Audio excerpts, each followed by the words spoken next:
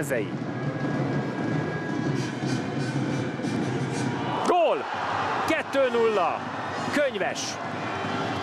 A cserecsatár tehát gólt szerez 2-0 a Paksnak, de úgy, hogy gyakorlatilag még egy védő is rajta volt, és együtt dőltek.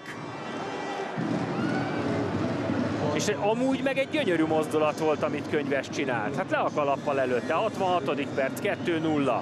Érdemes lesz majd megnézni ezt még lassításban, mert azon túl, hogy egy ember ott volt, és folyamatosan Gruber húzta le gyakorlatilag két kézzel a derekánál fogva, ilyen félig meddig ollózó mozdulattal könyves betalál. Markek ugyan még bele tud ütni ebbe a labdába, de Gruber szabálytalansága ellenére ez egy pazar mozdulat 2-0 a Paksnak.